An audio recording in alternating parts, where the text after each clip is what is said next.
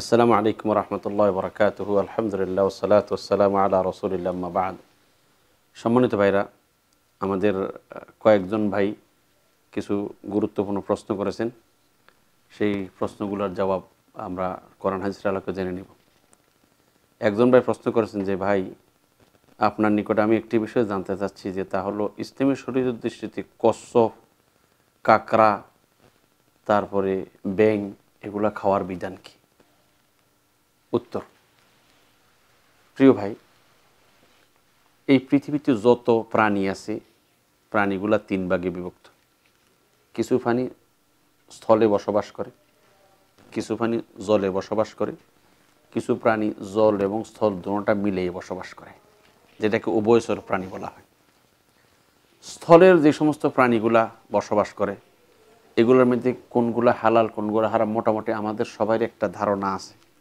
যেমন গরু, ছাগল, উঁট বেড়া এগুলা, মহিষ, এগুলো আমার জন্য হালাল। তাছাড়া মানে যেগুলা ছিঁড়ে ফেরা খায়, বাঘ, সিংহ, হাতি, এগুলো শরীরে নিষিদ্ধ। মানে এইরকমের আমরা মোটামুটি একটা আমাদের ধারণা আছে।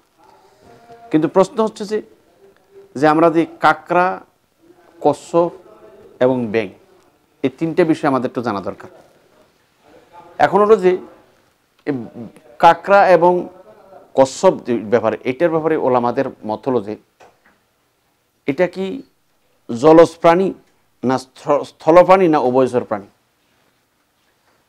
এখন কাঁকড়ার ব্যাপারটা সাধারণত সবাই আমরা জানি, এটা জলেই বসবাস করে।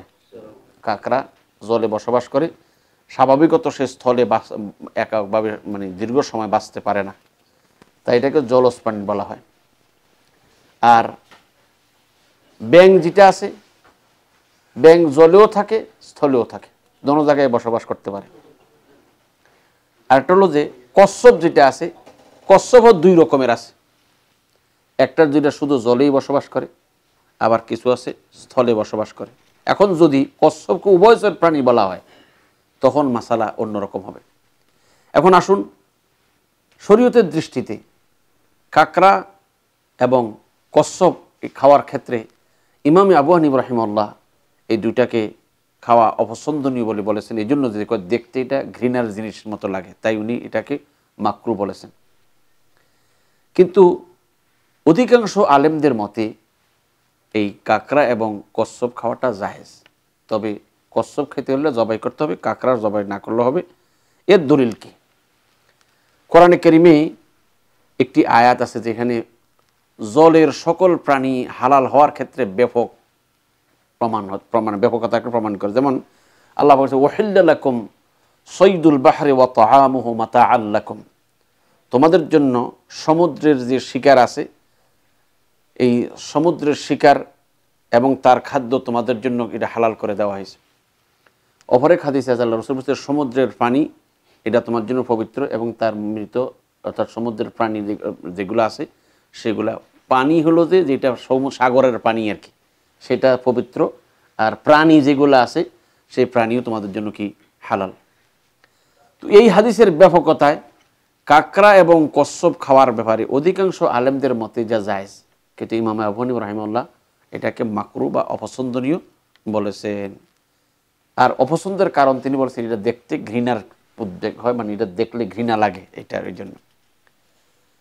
এখন বাকি রয়ে কিন্তু জলজ প্রাণী, যেগুলা বলতে ব্যাপক আকারে। জলে যে সকল প্রাণী বসবাস করে, এই সকল প্রাণীর ব্যাপারে অধিকাংশ ওলামাদের রায় হলো, জলের প্রাণী যে কোনো প্রাণী হোক, জলের ভিতরে, অর্থাৎ প্রাণীর মধ্যে বসবাস করে, সাগরে বসবাস করে যত কিছু আছে, প্রাণী সবগুলোই যায় কিন্তু ইমাম আবনী রহমতুল্লাহ বলেছেন যে না, মাছ সারা অথবা সমুদ্র স্থলে যে সমস্ত জিনিসগুলা হালাল, এইটার সাদৃশ্য জলেও আছে এইরকম জিনিস ছাড়া বাকি সবগুলোই মাকরু বা অপছন্দ কোনো কোনো ওলামারা এটা আবার না জায়েজও বলেছেন। তবে সারসংক্ষেপ হলো এই যে কাকড়া এবং কচ্ছপ খাওয়ার ব্যবসাটা, এটা সত্যি অবশ্যই জায়েজ হলেও বান্দার পছন্দের উপরও একটা অনেকটা নির্ভর করে যে আপনার মনে চায় কিনা, খাওয়ার প্রতি আগ্রহ আছে কিনা, সেটাও একটা বিষয় আছে।